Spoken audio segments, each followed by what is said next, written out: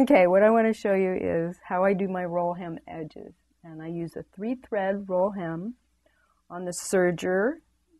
Uh, I use Sulky decorative thread, so it's a 40 weight uh, rayon decorative thread on on both loopers and the needle. There's two loopers and a needle in here.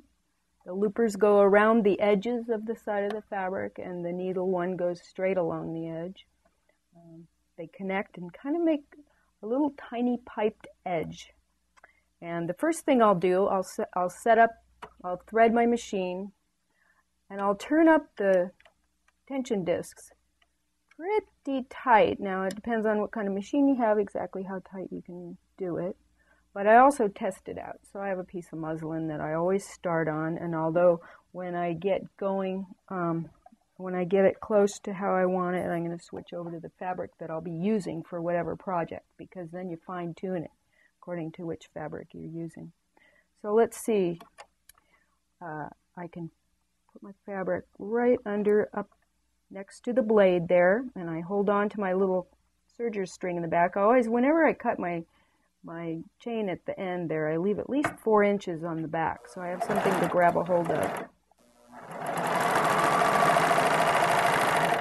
I trim away about a quarter of an inch as I sew and if I'm going a length of like 8 to 20 inches, I try to keep it continuous and not start start and stop. If I do need to start and stop, I try to do it gradually, not all of a sudden stop and then all of a sudden start up again because I really want my little stitches along the edge to be even and they tend to be a little uneven when you stop and start. The other thing I try to do is to hold my fabric down against the bed of the serger. And I try to convince whatever fabric I'm using that it's paper. And I want it to act like paper, and that way I'm going to get a very clean uh, edge. If I let my silks bunch up and, and uh, just allow the feed dogs, simply the feed dogs, even though it's differential feed and they're a great tool, if I just let them pull my fabric through, it doesn't come out as even as it does. If I kind of keep an L shape with my forefinger and thumb around the foot.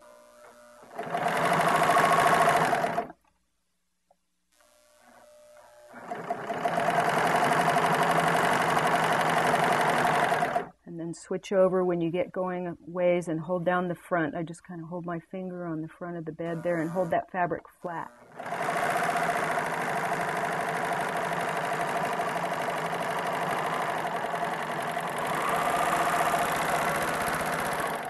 When I come to the end, I want to go off the edge at, at least four inches, but I also want to leave some on some of the chain stitch on the edge of my fabric because I'll use that to hold on to later. I'll show you.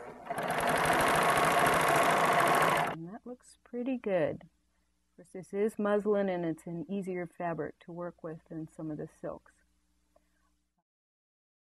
And if you've just gotten a serger or just trying roll hem for the first time, I'd suggest try just play with the knobs. Get yourself a piece of muslin and uh, turn up the tension, turn down the tension, turn up the stitch length, uh, turn it down. Try the differential feed at different settings.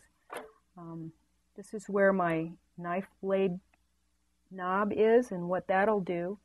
When I turn this, it makes this blade go out or in. When I'm doing the roll hem, I actually like the blade out a little bit. It really, it doesn't determine how the width of your little stitches. That's more has to do with your tension. But I want the blade out so I have something to grab a hold of and roll under a little bit. So when I go and do my seam connections, the little serged edge isn't going to just pull off of the fabric. So let's see, and then I'll compare. Okay, which do I like better? I actually like the less dense one here. I'm gonna I'm gonna turn it up. I have one and a half on my settings there. So let me try it on. Uh, see, I'm doing a garment out of silk chiffon, which is very ethereal. It's hardly like sewing anything at all. Um, so keep in mind what we need to do is to start out holding on to the tail here because that's going to be bringing my fabric towards the back here and hold it down as best I can. And there we go, that's a pretty good start. And then I switch over and I'll hold whatever I can. See the palm of my hand here is holding down the fabric.